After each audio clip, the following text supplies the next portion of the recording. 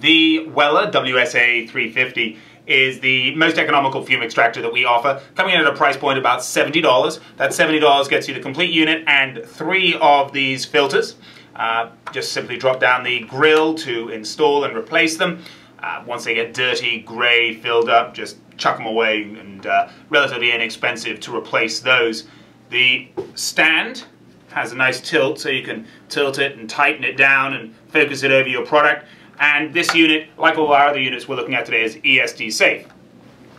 The Edsyn FXF11 has a rather unique design in that it has this arm, which is positionable. So you can angle it right over the product you're working on, tighten down the knobs, and you're holding right there. The solder spool integrated holder in the back, which is a lovely feature.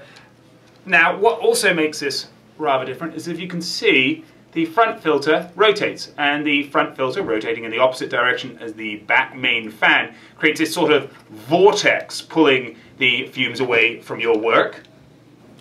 The Hakko FA400 is actually usable in two positions. You've got your main position like this, but then if you wish you can also lay it down and it will act as a fume extractor this way, pulling the fumes in this way and extracting them out through the top. The OK Industries SA9 and, and, this model here, which is the SA9E, similar to the Weller in its design for this angling head, uh, it does have the most powerful fan. In fact, actually, the fan on this unit is almost three times as powerful as any of the other units here. It is our most expensive. The non-ESD safe goes for about $80. This is the ESD safe version. This unit goes for about 105, so a little bit above our $100 price range. Filters drop in from the top, carbon impregnated filter.